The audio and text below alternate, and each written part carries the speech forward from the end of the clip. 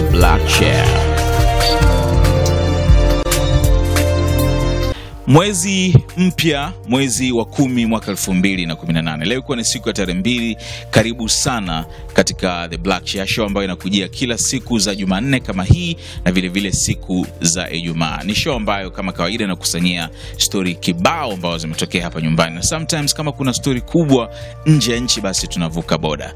Nikukumbushe pia kwamba uh, The Black Share inakujia kwa udhamini mkubwa kabisa wa DCB Commercial Bank ambao wanakuwezesha wewe kuweza kuifungua akaunti yako ya benki kwa simu yako ya mkononi. Ni rahisi mno. Kuna watu wamekuwa wakiuliza unawezaje kufanya hivi, lakini nakuhakikishia kabisa it's very simple. Unachotakiwa kufanya ni kupiga nyota 150 nyota 85 alama ya reli, na wewe unakuwa mmoja kati ya watu ambao wanamiliki akaunti za benki. Ambacho unachotakiwa kufanya ni kuwa tu na kitambulisho cha kupigia kura cha NIDA kama una leseni ya kuendesha gari na vilevile vile passport ya kusafiria. E, ukiweza kuwa na hivyo vitu basi unaweza kufungua akaunti yako na ukawa unapata huduma mbalimbali mbali za DCB Digital kwa simu yako ya mkononi, kununua, kutuma pesa, e, kuweka akiba kwa maana ya kuweka uh, fixed account ambayo ni FDR, uh, ya muda maalum, lakini vile vile kuna akaunti ya kudunduliza e, ambayo inaitwa ni ki digital kibubu au sio kibubu cha kidigitali unaotunza pesa kwa ajili ya kufanya malengo fulani fulani katika maisha yako. Kwa hiyo nitakuwa nikueleza mambo mengi muhimu sana kuhusu eh, DCB ambayo nakusanua kwa sababu mimi tayari nafaidika na watu wengine ambao tayari nimeweza kuwashawishi na wameniambia kwamba ni bomba sana. So kuna maswali, kuna watu wanauliza baadhi ya changamoto mbili tatu ambazo wanakutana nazo. Nataka nikutajie namba ambao ukipiga moja kwa moja utapata msaada ambayo ni eh, 0659 077 000 hiyo namba ambayo unaiona katika skrini yako skrini yako sasa hivi ndio ambayo utapata msaada wowote ambao unaohitaji. Lakini vile vile um, The Black Channel kuja kwa dhamini pia wa Mikono Speakers International. Leo nitakueleza kuhusiana na kozi ambazo zitatolewa katika mwezi huu wa kumi za muhimu kabisa kwa wale ambao wangependa kuongeza ujuzi katika fani mbalimbali. Mikono Speakers International ni mabingwa wa masuala training, masuala ya maonesho na masuala ya kuongeza ujuzi katika masuala ya ajira. Kwa hiyo utajifunza mengi sana, hasa kwa kijana ambaye unataka kuiva. Karibu sana. Uh, tuzianze tuanze kuangalia habari ambazo tuko nazo leo, lakini cha muhimu zaidi, Ijumaa ilikuwa ni siku kubwa ambapo ilikuwa ni birthday gala ya Wema Sepetu. Birthday tumekwisha iongelea sana, tumekwisha fanya katika roundup, tumezungumza uh, the west dress, best dress, tumewazungumza wote.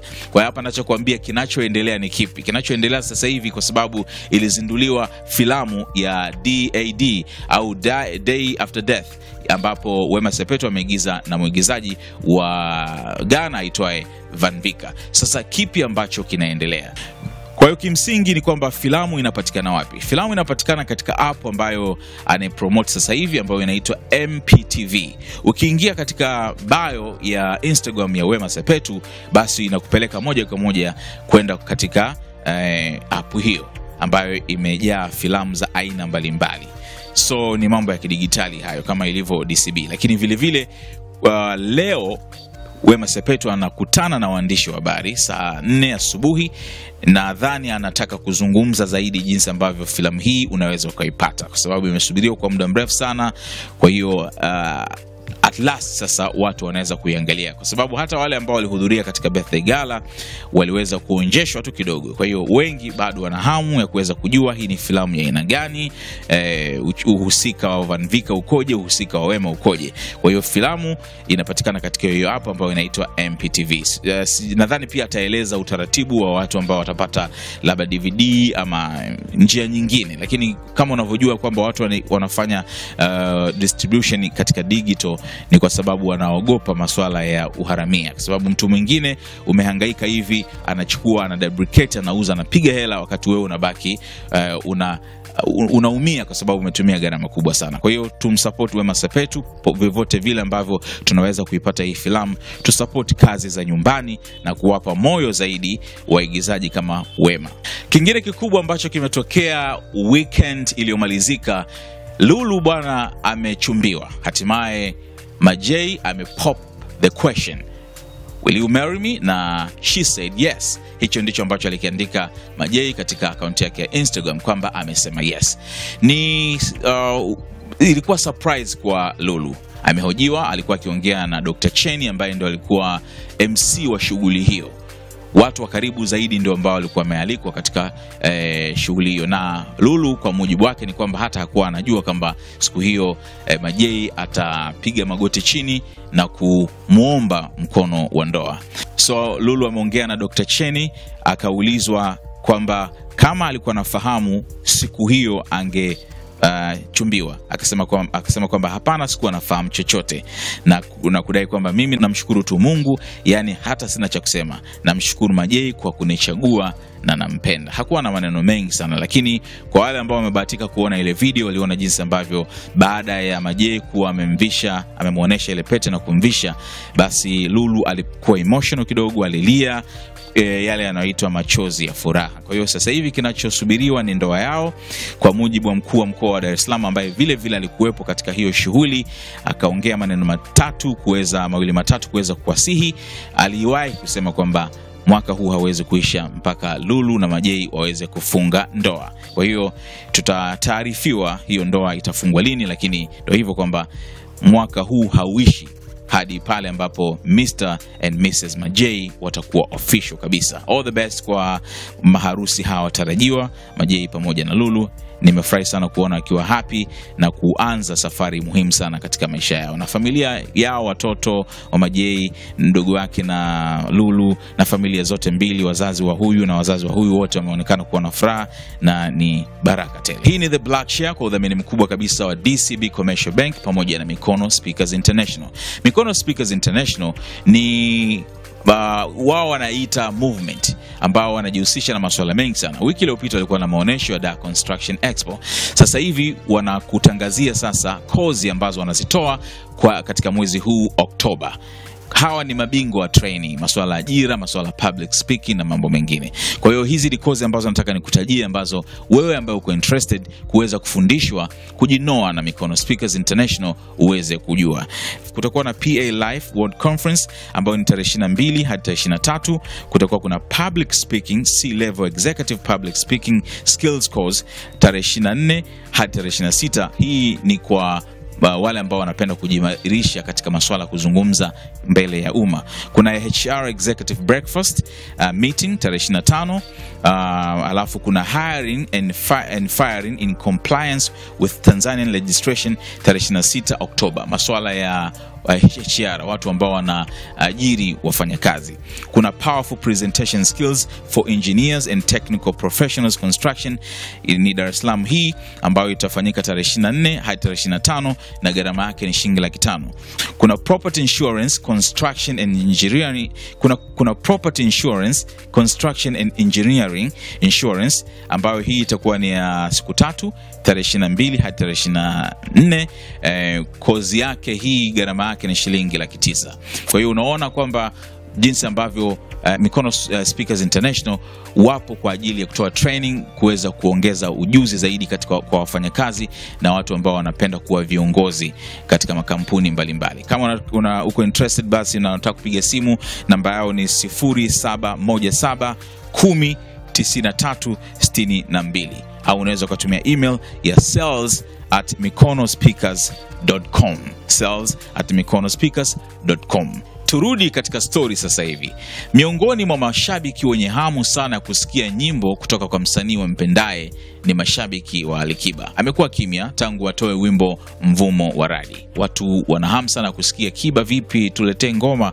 Ukiingia katika akaunti yake ya instagram utaona jinsi ambavyo mashabiki wanahamu sana ya ngoma mpya kutoka kwa alikiba. Lakini pengine ameweza kuwa amejibu sasa ombi hili kwa kuweka posti hii katika akaunti yake ya instagram na kuandika tu hashtag king kiba. Ni wimbo ambao unaitwa hela.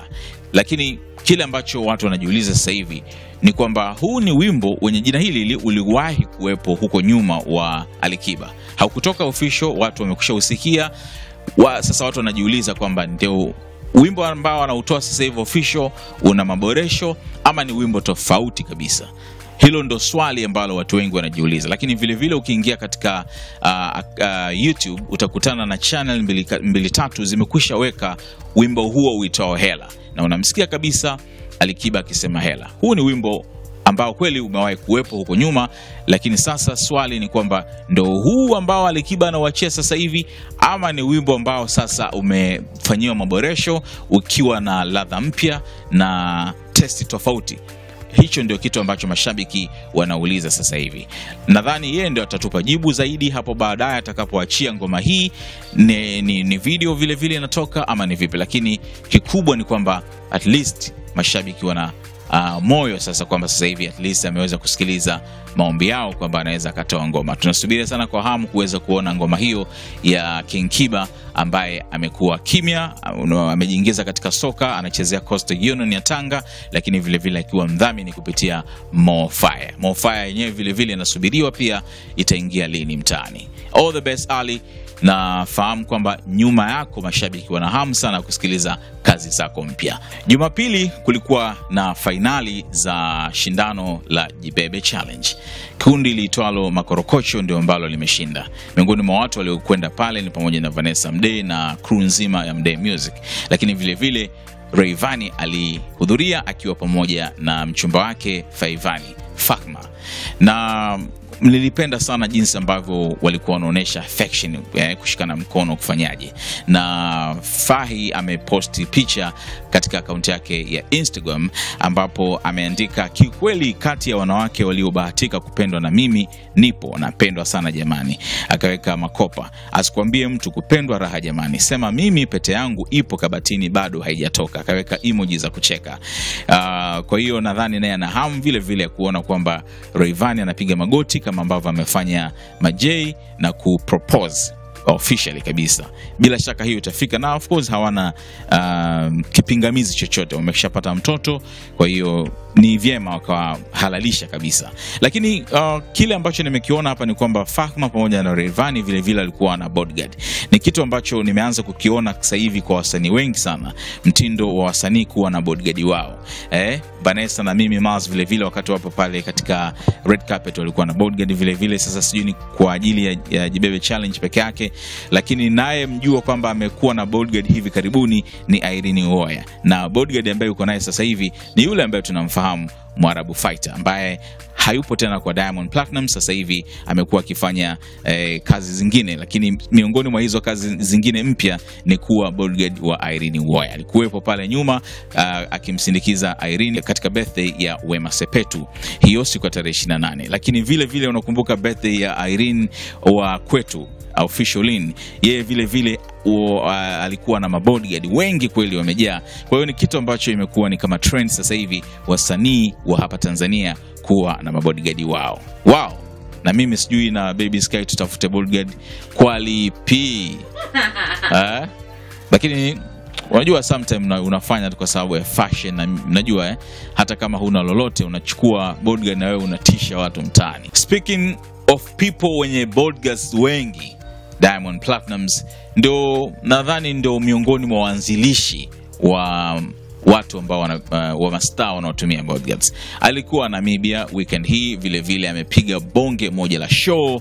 Umeona kama umemfollow katika akaunti yake ya Instagram, umeona ameposti picha, ameposti video nyomi la kutosha. Kitu ambacho kimenishangaza ni kwamba Namibia, ambapo hawazungumzi Kiswahili, wanazungumza Kiingereza na lugha zingine, wameweza kurelate naye na nyimbo kama bado kwa ngwaru, yani wote walikuwa wanacheza pamoja na kuimba naye, na yeye mwenyewe amekuwa excited sana kwa surprise hiyo. Ametumia Instagram katika kuandika akisema kwamba mama see how much Namibia love your son, akaweka emoji za kulia. I can't even explain how much I love you more Namibia. Continue performing in the countries and cities I used to learn on geography.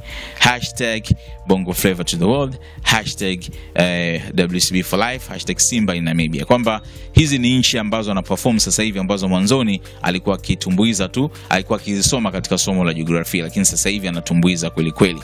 Na katika post nyingine akaandika mama look at your son now performing in the non-speaking Swahili countries. Hashtag Simba in Namibia. Hashtag Bongo Flavor to the world. Hashtag WCB for life. Ya, anafanya vizuri sana kiukweli Diamond Platnumz kadri siku zinavyokwenda. Sasa hivi wana benga, wana hit single ambayo ameshirikishwa na Navi Kenzo uh, katika, lakini unaona jinsi ambavyo jamaa amezidi kuitangaza Tanzania kwa mashow makubwa kama hayo. Hongera sana Diamond, hongera sana uh, WCB nzima kwa kazi nzuri na kuendelea kurepresent Tanzania. Asante sana uh, wewe ambao umetune katika The Black Chair leo hii kwa udhamini mkubwa kabisa wa DCB Commercial Bank uh, pamoja na Mikono Speakers International. Nikukumbushe kwamba kufungua akaunti kwa simu yako ya mkononi peke yake kwa kuwa na akaunti ya DCB uh, Digital ni kupiga namba nyota, ni kupiga nyota 150 nyota 85 alama ya redi. Very simple, utafungua akaunti yako ndani ya dakika mbili. Kama utakuwa uh, utawai zaidi, itakuwa less than 2 minutes. Utakuwa tayari na akaunti yako, unaweza ukaanza kudunduliza, unaweka akiba, unatuma pesa, unalipia bill mbalimbali kutumia simu yako ya mkononi. Asante sana kwa wewe ambaye tumekuwa leo hapa pamoja katika kiti cheusi. Kwa niaba ya Baby Sky ambaye yuko nyuma ya kamera, mimi ni Frederick Bundala Skywalker, kwa heri.